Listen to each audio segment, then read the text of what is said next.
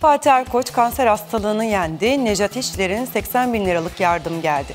Nilüfer'in kızı Ayşe Nazlı'yı görenler gözlerine inanamadı. Sırada haber turumuz var. Yıl nerelerdeydin aklınca emin eldeydin Leonardo DiCaprio anıları için 33 milyon Türk lirası istiyor.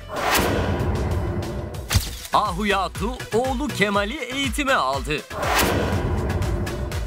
Ayşe Nazlı'yı görenler Nilüfer'e ve gözlerine inanamadı. İşte Ronaldo'nun eski İstanbullu yeni aşkı. Nejat İşler'den 80 bin liralık yardım. Fatih Erkoç kanser hastalığını yendi. Magazin 8'de haber turu başlıyor. Leonardo DiCaprio, Titanic filminden elde ettiği gelirle 1998 yılında satın aldığı Malibu'daki Pasifik Okyanusu manzaralı muhteşem villasını satışa çıkardı. Oscar ödüllü 41 yaşındaki oyuncu 3 yatak odası, 2 banyosu, tahta zemini ve oturma odasında şöminesi bulunan villası için 33 milyon Türk lirası istiyor.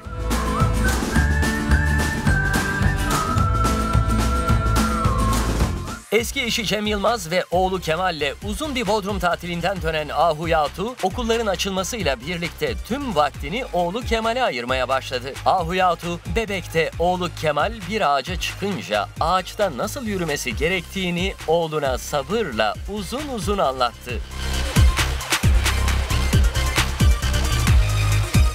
Sıradaki haber İstanbul Etiler'den. Nilüfer kızı Ayşe Nazlı ile okul alışverişine çıktı. Okulların açılmasıyla birlikte eksiklerin giderilmesi için mağazalara, kırtasiyelere akın eden milyonlarca öğrenci gibi Ayşe Nazlı da annesiyle alışveriş yaptı. Ayşe Nazlı'nın annesi Nilüfer'in artık boyunu geçtiği de gözlerden kaçmadı.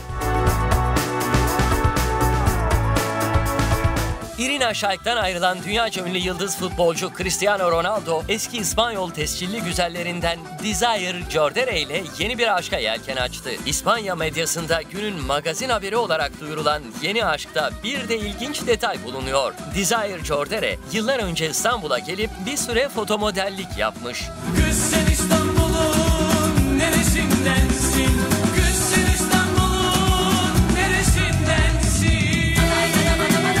Nejat İşler 3 yıl aradan sonra Serenay Sarıkaya ile kamera karşısına geçtiği İkimizin Yerine filminden aldığı ücreti başkanlığını yaptığı Gümüşlük Spor'a verdi. Nejat İşler'in rolü karşılığında aldığı 80 bin lirayı kulübünün giderleri için harcadığı belirtildi.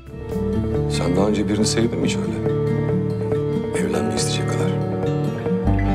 Sinan Akçıl'dan yeni bir Ebru Şallı açıklaması geldi. Akçıl, sevgilisi için Ebru kimsenin peşinde koşmaz. Kimseyi kıskandırmak için bir hareket yapmaz. Aslanlar gibi iki çocuk annesi. Çok değer verdiğim bir insan. Üç yıl ilişki yaşadık ama şu anda görüşmüyoruz. Düşmanlığımız da yok. Bütün bunların başlangıç sebebi benim hatalarım oldu dedi.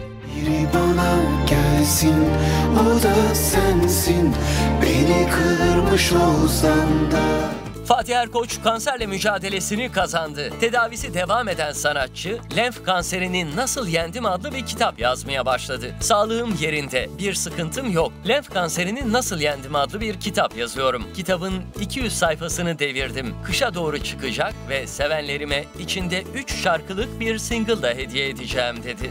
Bizim e, beklediğimiz, olmasını istediğimiz bir lenf kanseri şekli dediler. Foliküler lenfoma diye.